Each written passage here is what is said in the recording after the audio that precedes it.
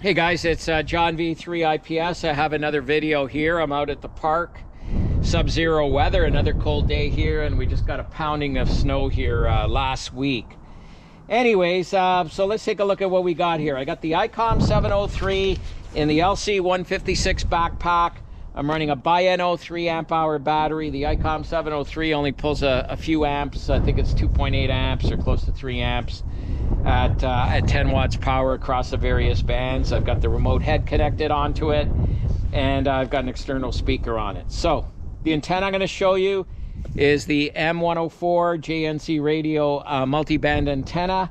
I got it from chelegance.com and that antenna covers 40 20 15 and 10 meters and as a bonus it's got a telescopic whip i can use it on 2 meters and 770 uh, 220 i can use it uh, 70 centimeters. Six meters, it's a bit short. It's a 46 inch antenna. I need uh, an extra six inches in order to push that up onto uh, the six meter band, but we could probably do that with just an alligator clip lead on it or, um, or maybe substitute uh, a longer whip antenna for it.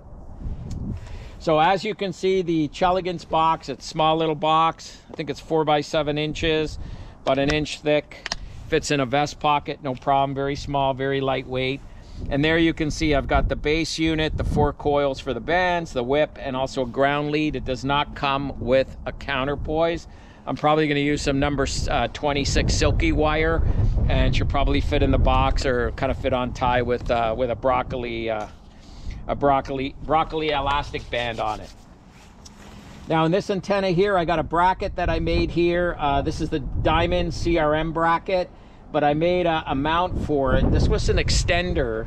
Um, it's about a foot long. I've got a stud on the bottom and a three at the top. This was just to extend another antenna I had to make it a little bit longer to achieve some resonance. Uh, but since I have it on the backpack here and I can mount uh, a regular antenna on it using a 3 8 24 um, CB stud on, I can put any other antenna on it. But for this one here, I've got the SO239 connector because that is what this antenna is uh, using. So well thought out. So let's let's go on 20. Add the coil in. Everything's brass, stainless steel, very well made. Um, I've made uh, about 60, 70 contacts already with this antenna. I'm very happy and mobile, uh, sorry, a fixed mobile application as well as portable and as well as the way I have it right now, I did a park activation uh, using this with uh, 10 watts on uh, uh 18 megs, 17 meter band. Okay, so I have that up and let's turn the radio on and see what's going on on 20 meters.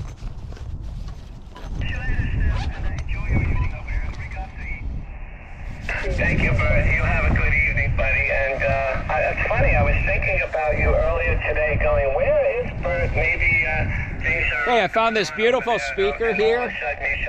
I got this at Dayton Hamvention uh, last year for uh, for a dollar. I wish the guy had more. These are nice little uh, speakers and kind of goes perfect with this setup here. So, man pack operation. What am I missing? I'm missing my radio. So let's pop the package open. And I've got two radios that I set up here.